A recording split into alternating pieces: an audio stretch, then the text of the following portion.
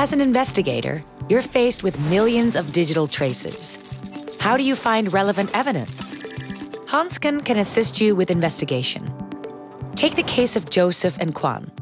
They were arrested carrying a large sum of money and are suspected of money laundering and drug dealing. Among other things, two smartphones and a laptop have been seized, which you want to investigate to verify their statements. First, you load forensic copies of the devices in Hansken, which automatically indexes all digital traces.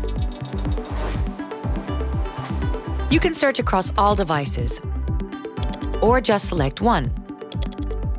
Navigate to Accounts, Filter, and you can confirm that it's Joseph's account. Apparently, Joseph was asked to pick up Kwan at the airport.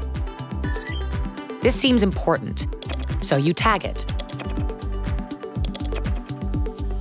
Tagging helps you to organize the evidence and to work together with your colleagues on the same case. You can then search all devices for pictures that hit on airport. And look at Kwan's browser search history as well. Under Timeline Search, you can check all other events. For example, a phone call that happened just before or after Kwan searched for airport. Check locations on Kwan's phone. There are traces with geolocations around Schiphol. Next to all these useful functions, you can also use smart features in Hansken based on artificial intelligence.